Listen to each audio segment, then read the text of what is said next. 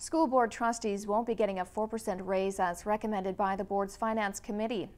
Trustees voted down a motion which would have given them their first wage increase since 2006. Instead, they've ordered the development of a new committee to deal with the remuneration process. As expected, trustees passed a bylaw to pave the way for the demolition of Highglen Elementary, which was destroyed in a fire last school year.